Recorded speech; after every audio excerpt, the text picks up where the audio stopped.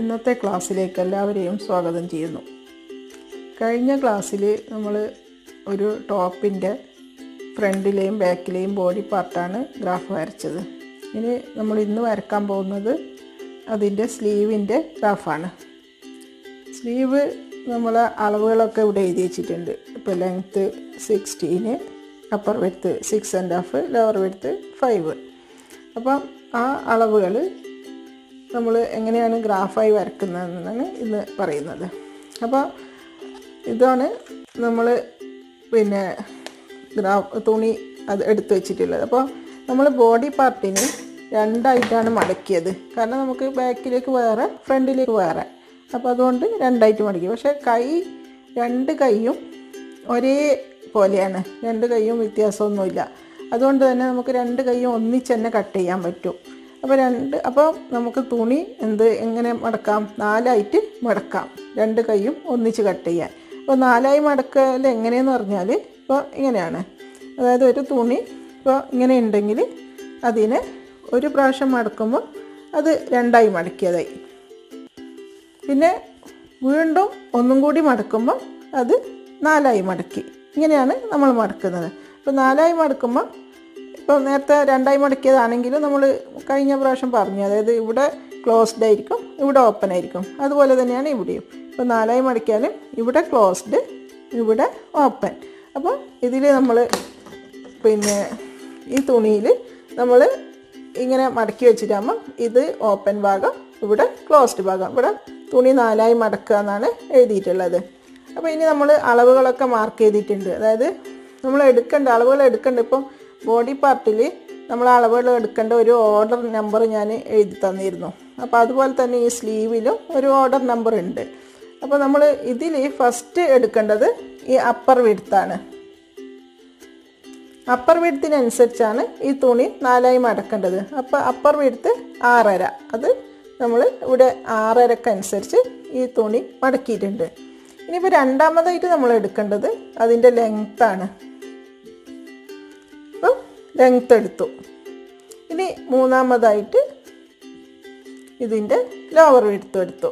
അപ്പോൾ ഈ നമ്മൾ എഴുതി വെച്ച മൂന്ന് അളവുകളും ആയി.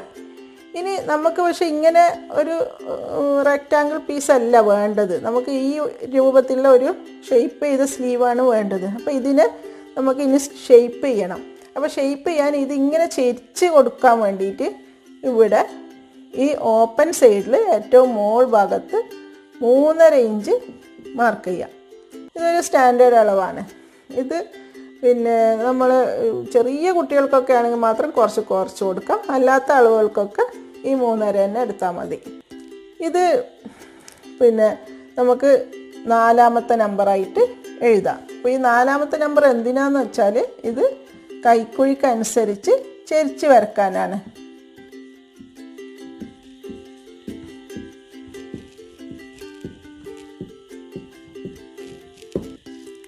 ചെരിച്ച് വരക്കാൻ.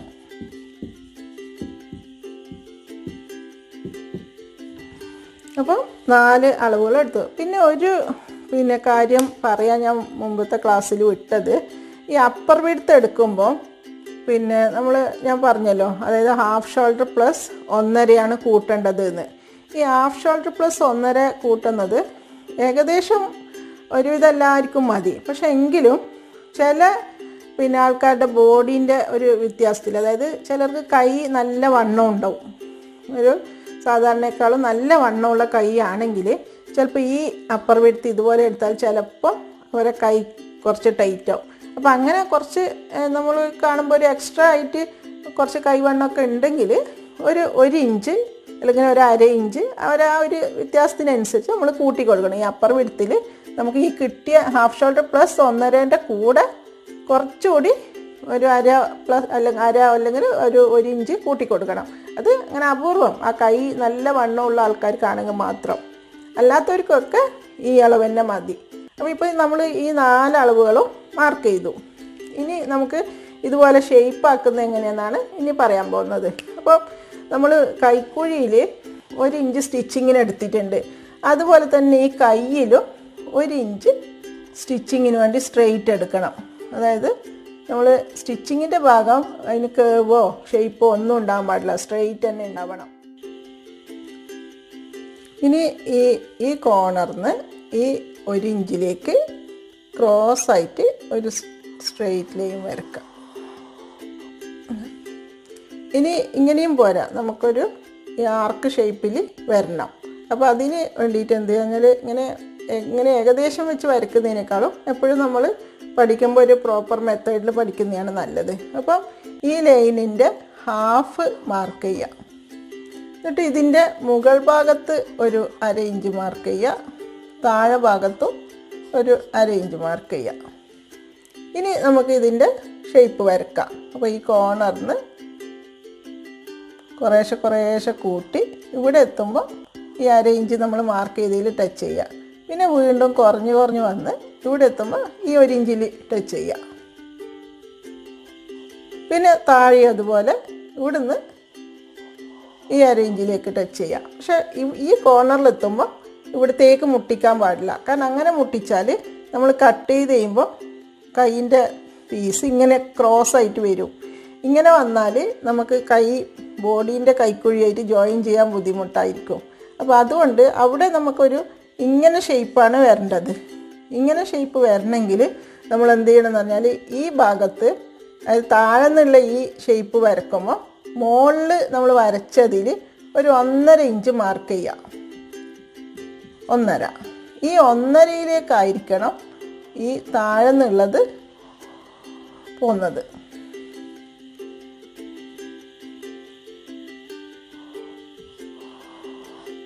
ഈ താഴെന്ന് പോകുന്ന ഷേപ്പ് ഈ ഒന്നരയിലേക്ക് പോയിട്ട് ഇങ്ങനെ ഒന്ന് ഷേപ്പാക്കി എടുക്കുക. അങ്ങനെയാണെങ്കിൽ മാത്രമേ നമുക്ക് കട്ട് ചെയ്യുമ്പോൾ ഇങ്ങനെ വരുള്ളൂ. അപ്പം കൈയിന്റെ മീതെയുള്ള ഷേപ്പ് വരച്ച് കഴിഞ്ഞു. ഇനി താഴത്തേക്ക് ജസ്റ്റ് ഇത് ഇതും ജോയിൻ ചെയ്ത് കൊടുത്താൽ മതി. അതായത് ഈ നമ്മളെ വിടുത്തും ഈ താഴത്തെ വിടുത്തും കൂടി ജോയിൻ ചെയ്ത് കൊടുക്കാം ഇതാണ് കൈയിന്റെ ഗ്രാഫ് ഇനി ബുക്കിൽ അത് ഗ്രാഫ് ബുക്കിൽ എങ്ങനെയാണ് ഗ്രാഫ് വരച്ചതെന്ന് നിങ്ങൾക്ക് കാണിച്ചു തരാമെന്ന് ഞാൻ പറഞ്ഞല്ലോ. അപ്പോൾ ഈ വലിയ അളവ് ഗ്രാഫ് ബുക്കിൽ വരച്ചതാണ് ഇത്. ഇത് ബാക്ക് പാർട്ടാണ്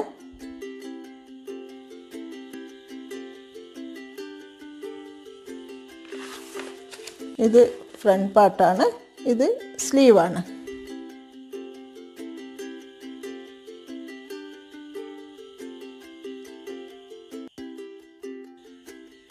ഇനി നിങ്ങൾക്ക് വീട്ടിൽ നിന്ന് ഒന്ന് പിന്നെ ഗ്രാഫ് വരച്ചിട്ടും പിന്നെ ന്യൂസ് പേപ്പറിൽ കട്ട് ചെയ്യാനും പറ്റിയ ഒരളവ് അതായത് പ്രാക്ടീസ് ചെയ്ത് പഠിക്കാൻ വേണ്ടിയിട്ട് ന്യൂസ് പേപ്പറിലേക്ക് ന്യൂസ് പേപ്പറിൽ കട്ട് ചെയ്യാൻ പറ്റുന്ന ഒരളവ് ഞാൻ തരാം. അത് നിങ്ങൾ വീട്ടിൽ നിങ്ങൾ പിന്നെ എഴുതിയെടുത്തിട്ട് പിന്നെ ഗ്രാഫ് ആദ്യം വരക്കണം എന്നിട്ട് അത് ന്യൂസ് പേപ്പറിൽ കട്ട് ചെയ്ത് പഠിക്കണം. അങ്ങനെയാകുമ്പോൾ നിങ്ങൾക്ക് തുണിയിൽ കട്ട് ചെയ്യുമ്പോഴത്തേക്ക് നല്ലൊരു എക്സ്പീരിയൻസ് ആയി കിട്ടും. കാരണം ഈ ഗ്രാഫ് വരക്കാന്ന് പറഞ്ഞാൽ ഗ്രാഫ് വരക്കുമ്പോൾ ശരിക്കും പറഞ്ഞാൽ നല്ല നമ്മളെ ഒരു പെർമനന്റ് മെമ്മറിയിൽ ഒരു നല്ലൊരു എന്താണ് പറയേണ്ടത് കോൺക്രീറ്റ് ബേസ് എന്ന് പറയുമല്ലോ അതുപോലെ ഒരു ആയി കിട്ടും. അതാണ് അതാണ് ഈ ഗ്രാഫിന്റെ ഗുണം ഗ്രാഫ് വരക്കുന്നതുകൊണ്ടുള്ള അപ്പോൾ ഗ്രാഫ് വരക്കാൻ ആരും മടി കാണിക്കണ്ട. കാരണം അത് നിങ്ങൾക്ക് ഭയങ്കര ഒരു എക്സ്പീരിയൻസ് ആണ് അതിന് അതിലൂടെ ഉണ്ടാവുന്നത്.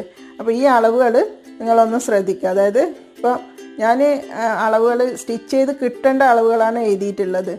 ഈ അളവുകൾ എന്തൊക്കെ കൂട്ടണം എന്തൊക്കെ കുറക്കണം എന്നൊക്കെ നിങ്ങൾ മറ്റേ ഗ്രാഫ് അല്ലെങ്കിൽ മറ്റേ അളവ് നോക്കിയിട്ട് അതിൽ നിന്ന് മനസ്സിലാക്കിയിട്ട് ചെയ്യേണ്ടതാണ്. ഇപ്പോൾ ഇത് ബോഡീന്റെ ലെങ്ത്ത് പതിനെട്ടാണ്. പതിനെട്ടിന്റെ കൂടെ സ്റ്റിച്ചിങ്ങിനും ഫോൾഡിങ്ങിനും കൂട്ടാം.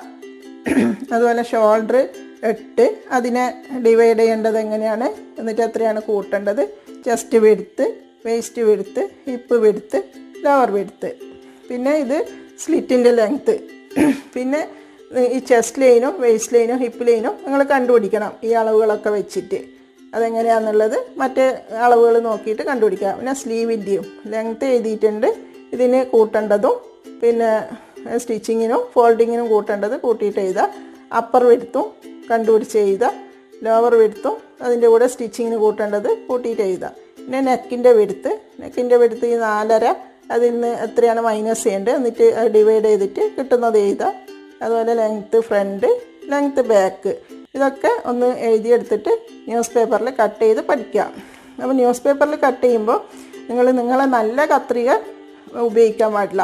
പിന്നെ നല്ല കത്രിക കൊണ്ട് ന്യൂസ് പേപ്പർ കട്ട് ചെയ്തെങ്കിൽ കത്രികേന്റെ മൂർച്ച പോകും അപ്പോൾ നിങ്ങൾ പഴയ ഇപ്പോൾ കുട്ടികൾ കുട്ടികളൊക്കെ ഉള്ളവരാണെങ്കിൽ കയ്യിൽ ഉണ്ടാവുമായിരിക്കും ഇങ്ങനെ അവർ കളർ പേപ്പറൊക്കെ കട്ട് ചെയ്യുന്ന ചെറിയ കത്രിക ഇതുപോലെയുള്ള ചെറിയ കത്രികയോ അല്ലെങ്കിൽ ഒന്നുമില്ലെങ്കിൽ നിങ്ങൾ മീൻ മുറിക്കുന്ന കത്രിക എടുത്ത് ഉപയോഗിച്ചാലും കുഴപ്പമില്ല. പക്ഷേ നിങ്ങൾ നല്ല കത്രിക ഒരിക്കലും ഉപയോഗിക്കാൻ പാടില്ല.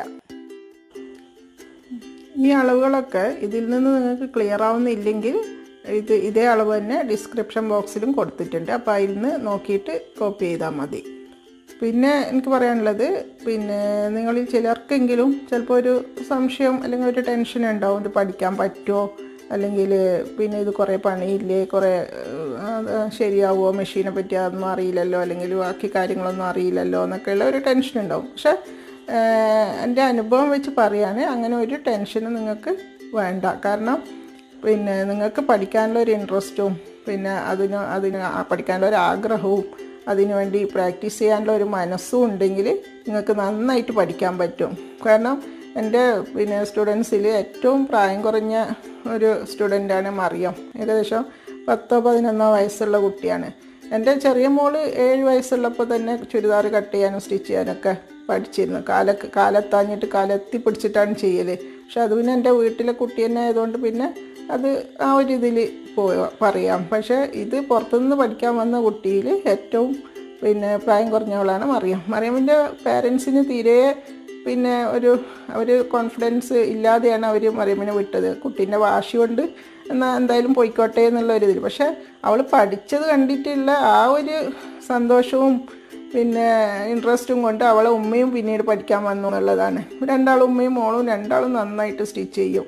പിന്നെ അതുപോലെ തന്നെ ഏറ്റവും പ്രായം കൂടിയ എന്റെ സ്റ്റുഡന്റ് ഞങ്ങളൊക്കെ സ്നേഹത്തോടെ ടീച്ചർ മാമി എന്ന് വിളിക്കുന്ന ഖദീജ ടീച്ചറാണ്. ഖദീജ ടീച്ചർ നാട്ടിൽ നിന്ന് ടീച്ചറായി റിട്ടയർ ചെയ്ത് പിന്നെ അവിടെ വന്നതിന് ശേഷമാണ് എന്റെ അടുത്ത് പഠിക്കാൻ വന്നത്. ടീച്ചർ നന്നായിട്ട് പിന്നെ സ്റ്റിച്ച് ചെയ്യുമായിരുന്നു. അപ്പോൾ അതിൽ നിന്നൊക്കെ എന്ന് പറഞ്ഞാൽ പ്രായം പോലും ഈ പഠിത്തത്തിന് ഒരു പിന്നെ പ്രശ്നമല്ല എന്നുള്ളതാണ് മനസ്സിലാക്കേണ്ടത്. അപ്പോൾ നിങ്ങൾ ഇത്ര തന്നെ ഉള്ളൂ. ഞാൻ പറയുന്ന കാര്യങ്ങൾ കൃത്യമായി പിന്നെ അത് ഫോളോ ചെയ്ത് പ്രാക്ടീസ് ചെയ്ത് പിന്നെ പ്രാക്ടീസ് ചെയ്യാനൊക്കെ തയ്യാറാണെങ്കിൽ ഇൻഷാല്ല ഒരു ടെൻഷനും വേണ്ട. നിങ്ങൾക്ക് നന്നായിട്ട് പഠിക്കാൻ പറ്റും എന്നുള്ളത് പൂർണമായും ഞാൻ ഉറപ്പിച്ച് പറയുന്നുണ്ട്. ഉറപ്പിച്ച് പറയാം ഇൻഷാല്ല പിന്നെ അപ്പോൾ നിങ്ങൾ പിന്നെ എന്താണ് ആരെങ്കിലും സബ്സ്ക്രൈബ് ചെയ്യാത്തവരുണ്ടെങ്കിൽ പിന്നെ ചാനൽ സബ്സ്ക്രൈബ് ചെയ്ത് ബെല്ലൈക്കൺ പ്രസ് ചെയ്ത് ഓൾ എന്ന ഓപ്ഷനും കൂടി പ്രസ് ചെയ്യുക. കാരണം എങ്കിൽ മാത്രമേ ഞാൻ വീഡിയോസ് ഇടുമ്പോൾ തന്നെ നിങ്ങൾക്ക് നോട്ടിഫിക്കേഷൻ കിട്ടുകയുള്ളൂ. പെട്ടെന്ന് പെട്ടെന്ന് നിങ്ങൾക്ക് അതിന്റെ പ്രാക്ടീസും കാര്യങ്ങളൊക്കെ ചെയ്യാനുള്ള ഒരു സമയം കിട്ടുകയുള്ളൂ. അപ്പോൾ ഇൻഷാല്ല അടുത്ത ക്ലാസ്സിൽ നമുക്ക് കട്ടിംഗ് ആണ്. അപ്പോൾ അടുത്ത ക്ലാസ്സുമായി എത്രയും വേഗം എത്താം.